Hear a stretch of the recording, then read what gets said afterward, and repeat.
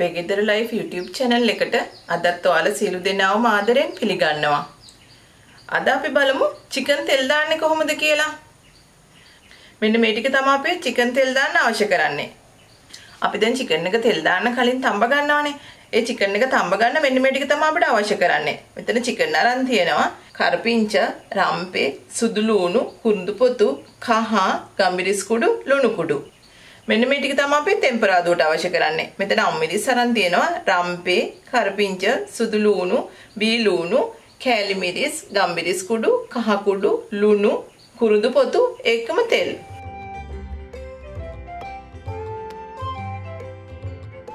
අපි දැන් මුලින්ම චිකන් ටික තඹ ගමු. මෙතන චිකන් ග්‍රෑම් 500ක් තියෙනවා. මම ඒ ටික මේ භාජනයට දාගන්නවා. ඒකටම කරපිංචි දෙකක් තියෙනවා. රම්පේ කෑලි දෙකයි. ලුණු කුඩු තේ හැඳි 3 කාලයි. ගම්බිරිස් කුඩු තේ හැඳි 3 කාලයි. මේ වගේ පොඩි කුරුඳු පොතු කෑල්ලක් අරගත්තා. මෙතන කහ කුඩු තේ හැඳි කාලයි.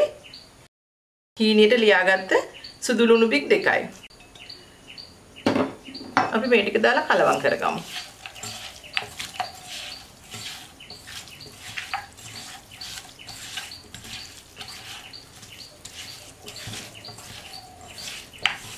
චිකන් එකට වතුර මුකුත් දාන්නේ මෙහෙමම ලිපේ තියලා තඹගමු. චිකන් ටික වහලා තඹගමු. චිකන් එක තැම්බෙන අතර ටිකක් කලවම් කරගමු.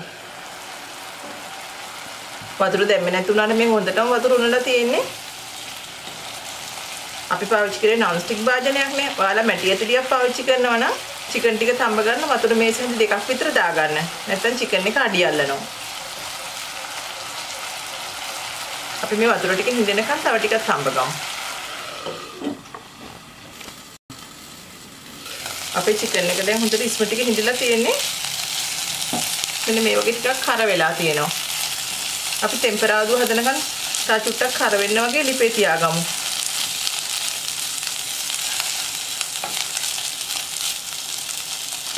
අපේ වාචනේ දැන් රත් වෙලා තියෙන්නේ.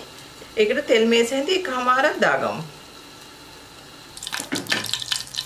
දැන් තෙල් එක රත් වෙලා තියෙන්නේ. ඒකට සුදු ලුණු බික් දෙකක් හීනියට කපාගෙන තියෙනවා. ඒ ටිකක් දාගමු. කරපිංචයිති දෙකයි.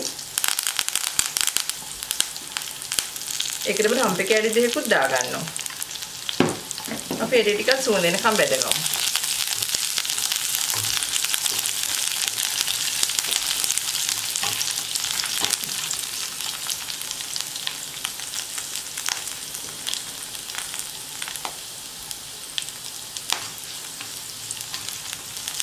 ඒ ටික දැන් බැදලා තියෙන්නේ.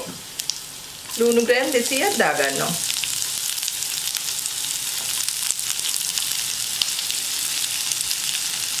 ඔව් මිරිස් කරල් තුනයි. ටිකක් දාලා අපි කලවම් කරගමු.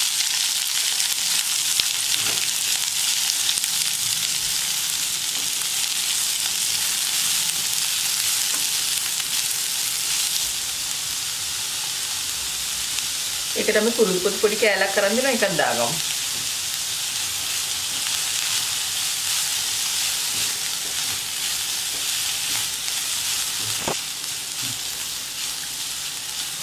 දැන් ලුණු ටික තෙලෙන් තැම්බිලා තියෙන්නේ.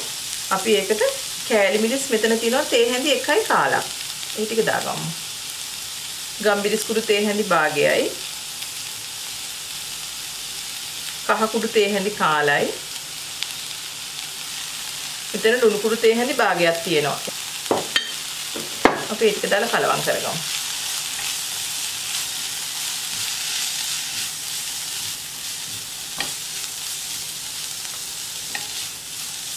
ඔයාලට මේ චිකන් එක හදාගන්න ගොඩක් වෙලා යන්නේ ඒ වුණාට වෙනස් රසකින් වෙනස් විදිහට කෑමට ගන්න පුළුවන්. දැන් අපේ ටෙම්පරාදුව හරි අපි දැන් තඹගත චිකන් ටික දාලා කලවම් කරගමු. අපි චිකන් ටික තඹ ගන්නකොට හොඳටම ඉස්ම නැති වෙන්න තඹ ගන්න ඕන. මොකද අපිට වතුර ඉතුරු වුණොත් එහෙම චිකන් එකේ රස නැති වෙනවා. අපි දැන් චිකන් ටික දාලා කලවම් කරගමු. අපි චිකන් ටික දාලා මද ගින්දරේ විනාඩි 5ක් වහලා තියමු. අපි දැන් චිකන් එක විනාඩි 5කට පස්සේ ඇරලා බලමු.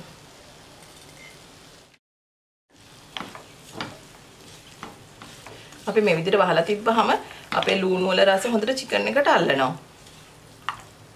චිකන් ගැඹුරු තෙලේ බැදලා උයන විදිය ඒ වගේම තෙල් නැතුව චිකන් උයන විදිහත් අපේ channel එකේ තියෙනවා. ඒවැ ලින්ක් එකත් මම පහළ ඩිස්ක්‍රිප්ෂන් බොක්ස් එකට දාලා තියන්නම්. ඔයාලට එතකොට කැමති විදිහකට චිකන් හදාගන්න පුළුවන්. මේ විදිහට චිකන් ටිකක් තෙල් දාගත්තාම ගොඩක් රසට කන්න පුළුවන්. එහෙනම් ඔයාලත් මේ විදිහට රසට චිකන් තෙල් දාලා පවුලයත් එක්ක රස බලන්න. ඒ වගේම මේ වීඩියෝ එක හොඳයි කියලා හිතෙනවනම් කමෙන්ට් එකක් දාලා යාළුවන්ටත් බලන්න ෂෙයා කරන්න. අපි ආයෙත් අලුත් කෑමකින් හමු වෙමු.